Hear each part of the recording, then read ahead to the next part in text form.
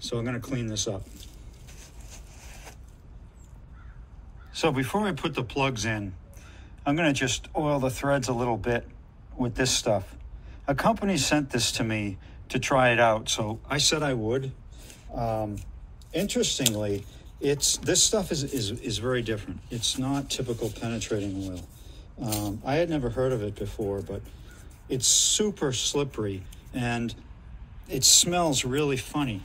I'm not sure like like what to describe it as, but it doesn't smell like typical penetrating oil. So I'm gonna try it. Um, we'll see how it goes. And if I like it, I'm gonna use it some more. So I'm just putting a little bit on the threads, taking care not to get any on the, the tip. I'm also gonna put a real small amount of it in the cylinder.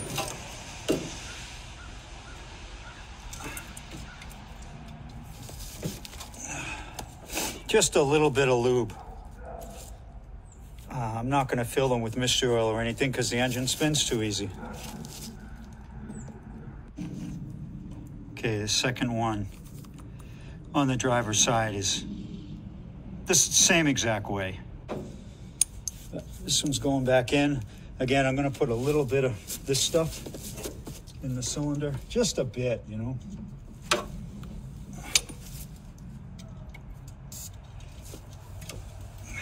Just a hair bit of lubrication as it turns over. I'm to do the rest of these and get back to you. Okay, next step, um, since it's got the key, I'm to turn the key on, turn it over and see if I've got spark. It's cold, so I'm not sure how this is to do, but I've got gas in the car. I'm to see if it'll fire.